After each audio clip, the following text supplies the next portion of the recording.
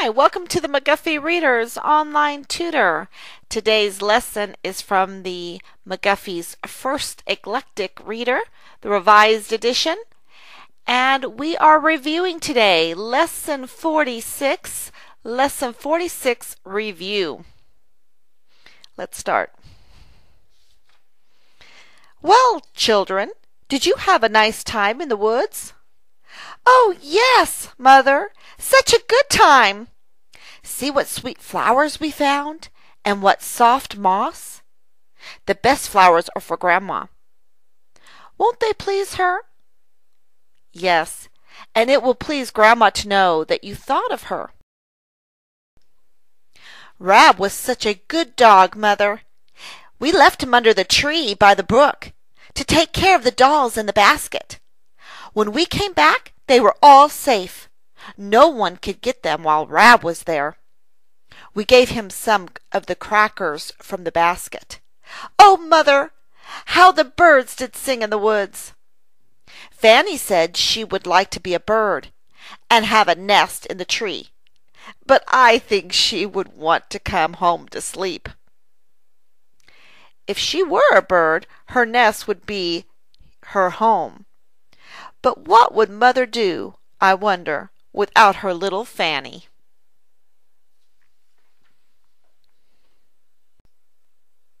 Now it's your turn. Why don't you try reading through these sentences a couple times for yourself?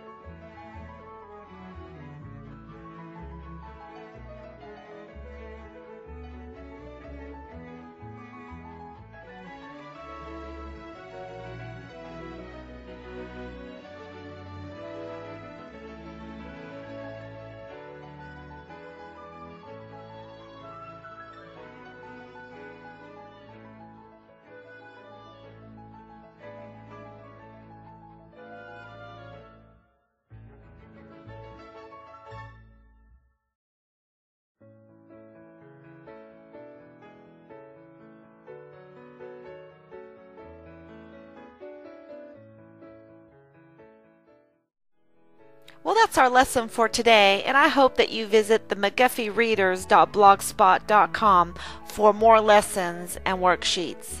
And I hope you visit me again. Talk to you later. Bye bye.